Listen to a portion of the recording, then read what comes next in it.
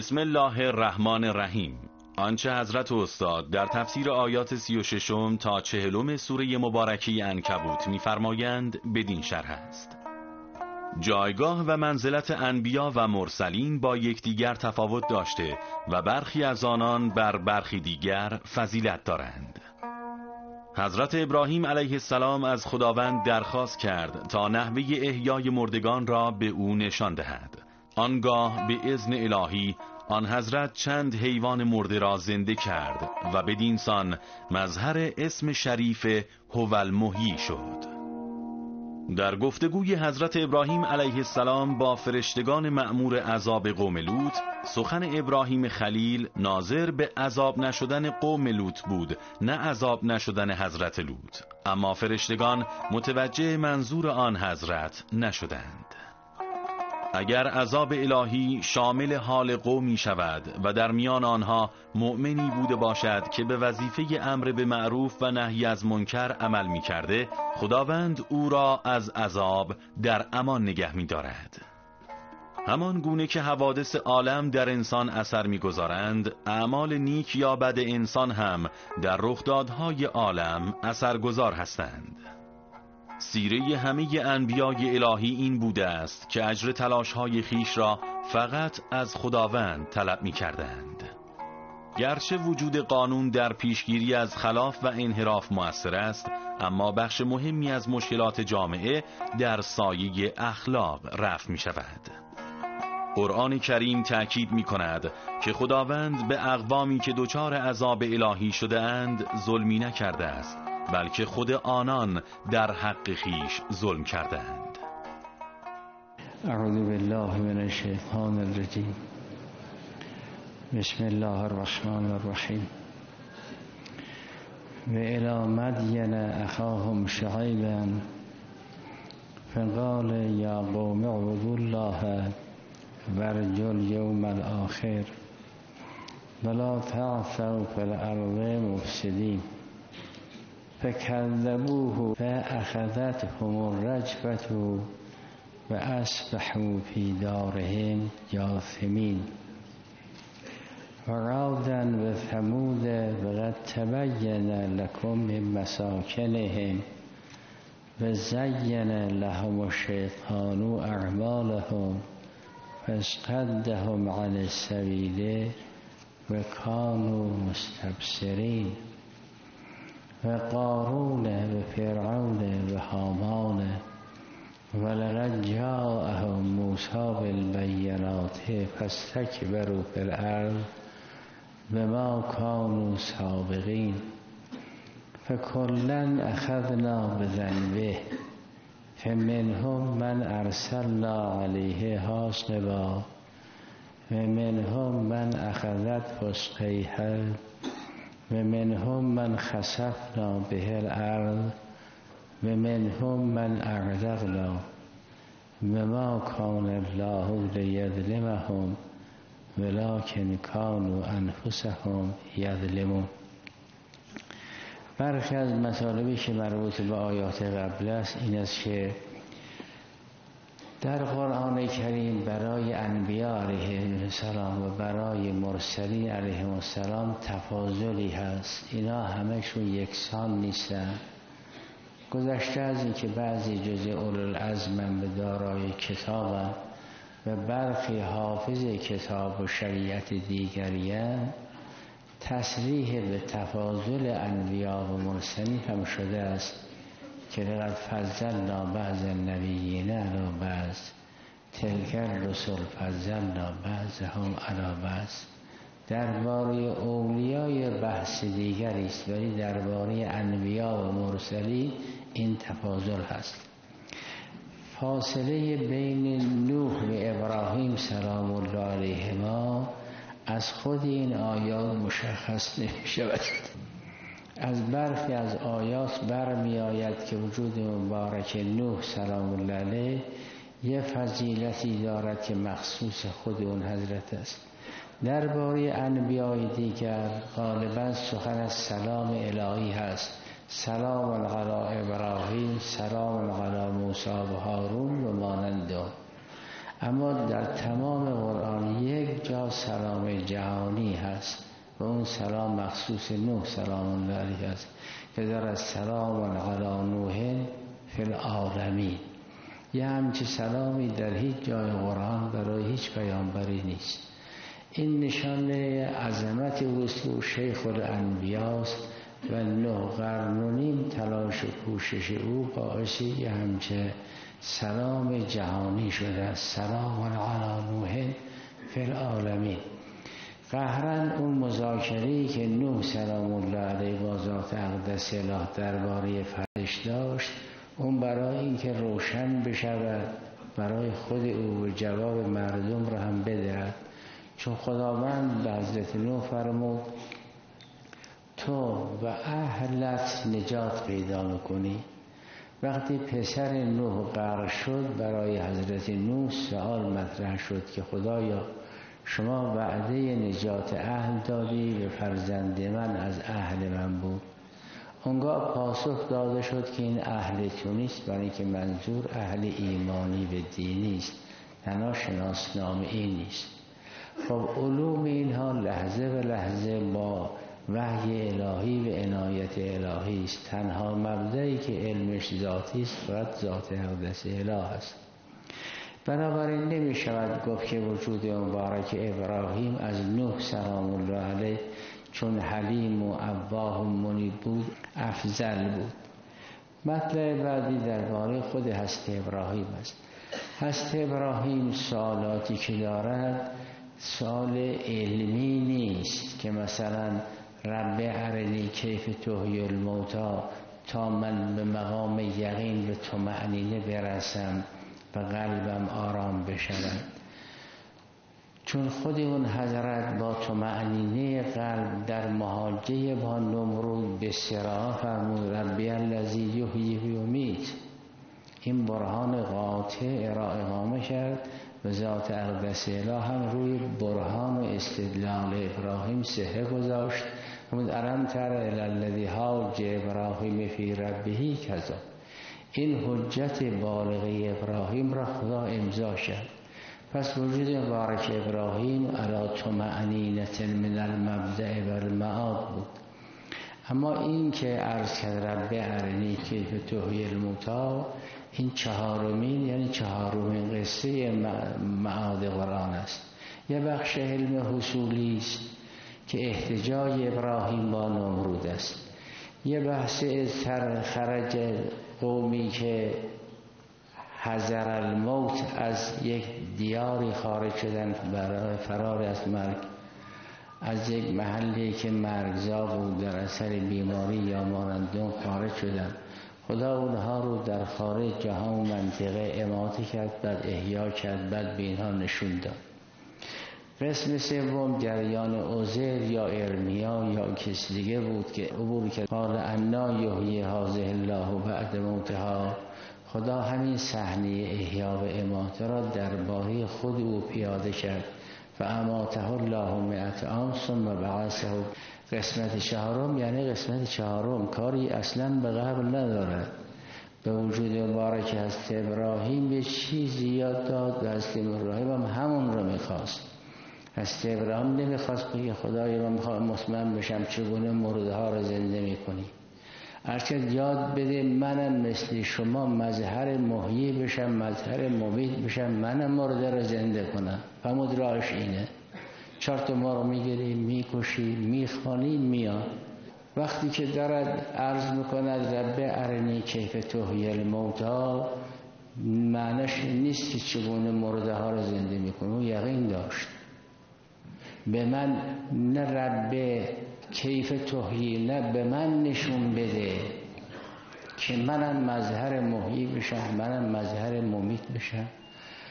بعدها فرزندان و وجود مبارک عیسی همین کار کرد. دیگه مظهر محیی شد مظهر ممیت شد. استخلق من التینه که تیره به ازنی. ارشد نشون بده منم این کار رو بکنم و این راهش اینه. من می‌خوام به این تو معنی برسم که مظهر هو المحیی بشم مظهر هو الممیت بشم. فرمود این راهش اینه این چارتمار رو می‌گیری می‌کشی میکوبی ذراتشون به هم مخلوط می‌کنی. بعد سمت هن یعتی نک سعیا. ما در قیامت یوم ندعو کل راسم به امامهم. تو هم در اینجا هر کسی رو با سرش سرش بگیر صدا بزن یا فلان این زنده میشه. یه چیز دیگه هست. کاری با اون سه قسم قبلی نداره. اوج مقام ابراهیم سلام الله علیه اونجاست که شده مظهر حوال محیی. و یعنی می‌دونست که چه کار بکنه اما در اینجا چون حلیم است اواه است منیب است بر اساس الایات یفسر و بعضها بعضا اونی که تو سوره مبارکه هود گذشت جدال و گفتگوی وجود مبارک ابراهیم با فرشته ها رو شرح می‌داد که نه درباره قوم لوط مجادله می‌کرد که بالاخره اینها گناه کردن سب کنید ببخشید از یجادلنا فی قوم لوط نه درباره خود لوط.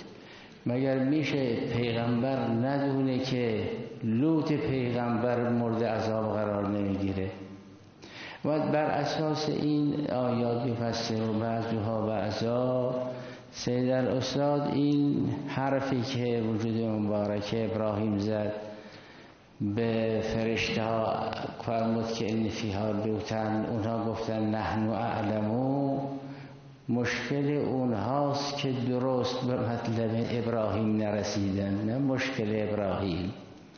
گاه شاگرد هر استاد رو نمی‌فهمد. و اون جریان فرشته ها هستند و انسان کامل. مشکل فرشته ها بود نه مشکل ابراهیم. برای که ما یه سلسله مدبرات در عالم داریم به نام فرشته ها از این مدبرات سوال کنیم شما شاگردان کی هستید؟ یعنی پیشه که درس خوندید؟ میگن پیش انسان کامل. از کجا انسان کامل معلم شماست؟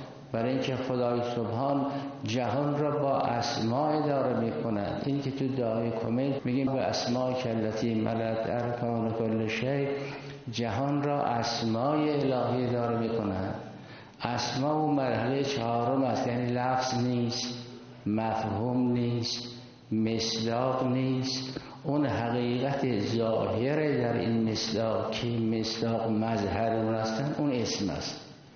خدا با اسما جهان را اداره می کند این اسما را یاد خلیفه خودش داد و علم آدم الاسما. بعد به فرشته ها فرمود شما اینا رو بلدید درس کردن نه؟ اگر استعداد داشته بودن که خدا یادشون می‌داد. اینا دو مرحله عقبن. یکی استعداد اون را ندارن که شاگرد بلا واسطه باشن وگرنه خدا این اسما را یاد ملاکه مید دو حالا که شاگرد انسان کاملا اون لیاقت را ندارن که علم اسما را یاد بگیرن در حد انبا و گزارش با خبر می شوند. یا آدمو انبعهم دو مرتبه فرشته ها از انسان کامل دنبالن مشکل فرشته ها بود که حرف ابراهیم را نفهمیدن نه مشکل ابراهیم خلیل. این بیان نورانی حسن ابن علی علیه السلام تو بحث روایی ملاحظه فرمودید. سید استاد این روایت هم نقل کرده. در بحث روایی این حدیث شریف از وجود مبارک حسن ابن علی علیه السلام هست که فرمود وجود مبارک ابراهیم با فرشته ها گفتگو کرده است یستبقی هم. در صدد این است که اینها عذاب نشن. چرا؟ لقول تعالی ایجاد لافی قوم لوط. خود حضرت به برکت و به شهادت آیه سوره هود دارد استدلال بکند که گفتمان ابراهیم و فرشته ها علیهم السلام برای نجات این قوم بود نه برای نجات لوط. خب مطلع بعدی آن است که در جریان انبیاءشون قصه سه نبذه کردن. یه وقت است که از پیامبر شروع می‌کنن علیه السلام علیه السلام به امت می‌رسند مثل جریان نوح مثل جریان ابراهیم مثل جریان لوط مثل جریان شعیب. گاهی از امت شروع می‌کنن به پیامبرشون علیه السلام می‌رسن مثل جریان قارون جریان فرعون که اول اینا رو ذکر می‌کنن بعد فما جا موسا گاهی قصه خود امت را ذکر می‌کند نه مسبوق است به نام پیامبرشون نه ملحوق است مثل آد و سمود اون چی که در این یک صفحه و نصف یا دو صفحه از قصص انبیا آمده در همین سه محور هست. که گاه این فرماد لقد ارسلنا نوحا بعد اسم قومش میارد و ابراهیم بعد اسم قومش میآورد بعد لوتن اسم قومش میآورد بعد شعیبا و گاهی اول اسم قوم است بعد اسم پیامبر. گاهی اسم پیامبرشون اصلا نیست برای اینکه مبسوطا در آیات دیگر گذشت. مطلب بعدی آن است که اگر چه یه عذابی بیاید و اهلی منطقه را بیران کند و درش یا آدمای صالحی باشد حتما اون آدمای صالح به وظیفهشون که امر معروف و نهی از منکر باشه عمل نکردن. این روایت نورانی رو مرحوم کلینی تو کافی هم نقل کرده که فرشته های الهی معمور شدن یه منطقه رو زیر رو بکنن. وقتی نزدیک اون منطقه رسیدن دیدن پیر مردایی هستن که اهل نماز شبن. برخی ها گفتن ما عذاب فرستیم نفرستیم. وقتی سوال کردن از ذات اقدس اله فرمودن این فقط گرفتار کار خودش امر معروف نکرده نهی از منکر نکرده به فکر اصلاح جامعه نبوده این دین خدا را حفظ نکرده این وظیفه خودش عمل نکرده. این روایت رو مرحوم کلینی تو کافی نقل کرده. بنابراین اگر عذاب الهی بیاید و کسی در اون منطقه به وظیفه خودش عمل کرده باشد حتما خدا را نجات می‌داد جریان قوم موسی اینطور بود. جریان بسیار از امم اینطور بود. خود وجود بارک لوط از جه منطقی آمده اینجا و مهاجر بود. اینی مهاجر الى ربی. البته نزدیک بود به منطقه زیست حضرت ابراهیم سلام الله علیه ما برای اینکه فرشته ها گفتن مهلکو اهل حاضر قریه حالا یا چون از در جغرافیایی نزدیک محل زیست ابراهیم سلام الله علیه بودن اونایی که قوم لوط بودن یا نه عهد ذهنی و ذکری بود. ولی علیه حال ظاهرش نیست که مهلک و اهل حاضر القریه نزدیک بودن خب در جریان قوم لوط اگر واقعا کسی یا زن است یا مرد اگر خونسا باشه باید خودش معالجه کنه. اگر مشکل غریزه ای داره حتما باید درمان بشه. اینطور نیست که درمان برای این بیماری نباشه. خیلی از بیماری هاست که درمانش ناشناخته است. این بیان نورانی امام رضا سلام الله رو مرحوم کلی نقل کرده است که ما احدث العباد من الذنوب ما لم يكونوا يعملون احدث الله لهم من البلاء ما لم يكونوا يعرفون. فرمود گناهان تازه عذابهای تازه میاره. گناهایی که سابقه نداشت اگر که انجام دادن عذابهای میاد کسی نمیشه از کجاست. كلما احدث العباد من الذنوب ما لم يكونوا يعملون احدث الله لهم من البلاء ما لم يكونوا يعرفون این تلازم هست. انسان چیزی جدای از عالم نیست. همونطوری که حوادث عالم در انسان اثر می‌گذارد اعمال انسان هم در رخداد عالم بی اثر نیست. اینطور نیست که آدم بگیم خب داره چه بد چه خوب زلزله امر طبیعی بله زلزله امر طبیعی اما کی بیاد و کجا بیاد و چقدر بیاد یه نظمی دارد یه حساب کتابی دارد. باران یه امر طبیعی است اما کی بیاد و کجا بیاد و چقدر بیاد؟ قطراتش هر قطره روی فرشته میاره. حساب کتابی دارد تو روایات هست که اگر مردم لالایق بودن ما این ابرها دستور میدیم باران باران تو دریا بریزه. اینطور نیست که اعمال ما اثری نداشته باشه. از اون در فرمود لو ان اهل القرى آمنوا واتقوا لفتحنا عليهم برکات من السماء والارض. بیگانه حوث باطل دارد مسئله تحریم کند. کار به دست دیگری است. رازق دیگری است. از تحریم هیچ یعنی هیچ کاری ساخته نیست. در که ما در مسیر دین باشیم. فمود لو ان اهل القرى آمنوا واتقوا لفتحنا علیهم برکات من السماء. زمین در اختیار خدا آسمان در اختیار خدا نیروها در اختیار خدا. فرمود مگه دیگری رازقه؟ اینا تبل باطل میکوبن. واقعش اینه. فرمود اگر شما درست راه رفتید ما همه نعمت ها رو به شما میدیم. ولو انم اقام التورات و الانجیل و ما انزل این سنت الهی است. مسیحی اینطوره یهودی اینطوره مسلمان اینطوره هر کسی با خدا بود دستور خدا را انجام داد. در هر زمان و زمینی باشد اینه. الیوم تنها دین دین اسلام باید این کار را کرد. اونجا که فرمود لو ان اهل القرى مال اون آیه است. اینجا لو انهم اقام تورات و انجیل مال این بخش است. غرض اینه که اگر ذات اقدس اله زلزله دارد رو نظم های ریاضی است اما کی و کجا حساب شده است؟ بارون دارد رو نظم های ریاضی است برف و تگرد دارد رو نظم های ریاضی است اما کی و کجایش به صلاح؟ دید خود ذات اقدس است. عذاب هم همینطور. در جریان ذکورت و هم ای کسی گرایش باطل داشت حتما باید خودش معالجه کند. اینطور نیست که بگه حالا چون گرایش به هم جنس دارد این کار برای او حلال باشد. یا نخیر بیماری است به بیماری با درمان بشود. اگر چونچه این بیماری درمان نشده کسی راه صحیح را طی کند ذات اقدس اله فکر طبیب را به تشخیص بیماری هدایت می‌کند. این دعا و توسل حداقل در پنج بخش اثر دارد.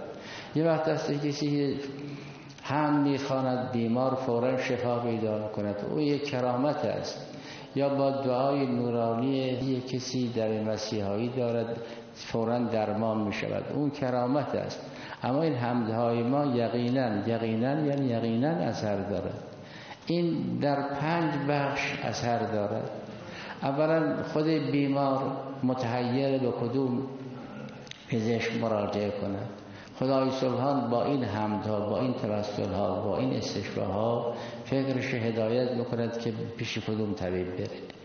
خب اطبا هم این چه نیست که کاملا به همه علوم آگاه باشن. گاهی اشتباه می‌کنن با یه ببخشید می‌خوان مسئله حل کنن. رهبری به هدایت فکر طبیب به تشخیص مرض تصادفی نیست. این برکت اون همده بخش سوم اگر بیماری رو تشخیص داد داروی معالجش چی هست؟ گاه اشتباه هم کنه گاه مقصد می‌رسه. اینکه تصادف در کار نیست. هدایت فکر طبیعی به تشخیص داروی معالج به برکت اون همده حالا وقتی که این سکار تموم شد این به کدوم داروخانه بره که خوش انصاف باشه؟ اون تاریخ مصرف گذشته را بهش نده. با یه ببخشید بخواد مسئله حل کنه. این به جای خدا او را هدایت می‌کنه از یک کسی دارو بخره که تاریخ مصرف گذشته نباشه اون دارو مؤثر باشه. بخش پنجم اینه که حالا آورده کدوم پرستار اشتباه نکنه دارو اشتباهی نده با یه ببخشید با مسئله حل کنه. یک کسی پرستاری او را بهده می‌گیره یا خودش بهده می‌گیره که اشتباه نکنه به موقع مصرف بکنه. حالا ششم و هفتم بمونه که دستگاه گوارش او را پذیرای درمان می‌کنه. قدم به قدم این حمدها اثر داره. ما نباید توقع داشته باشیم یه حمدی خوندیم کار مسیحا علیه السلام رو بکنیم.